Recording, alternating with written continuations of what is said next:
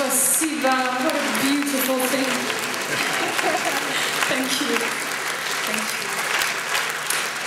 See, I guess, I guess this is for Lou. Oh shoot, I'm sorry.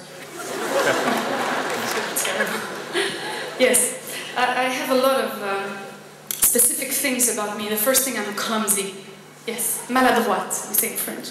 I don't know how to say it in Ukrainian, I'm so sorry.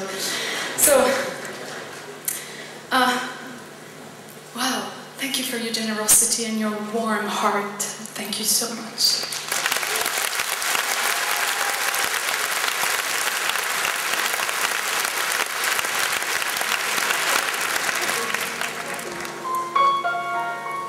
Some people ask me why I sing in French and then English and then speak Italian and well it's not my fault.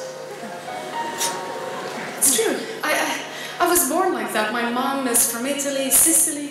My father is from Belgium, Flemish. Crazy family. so I had to adapt.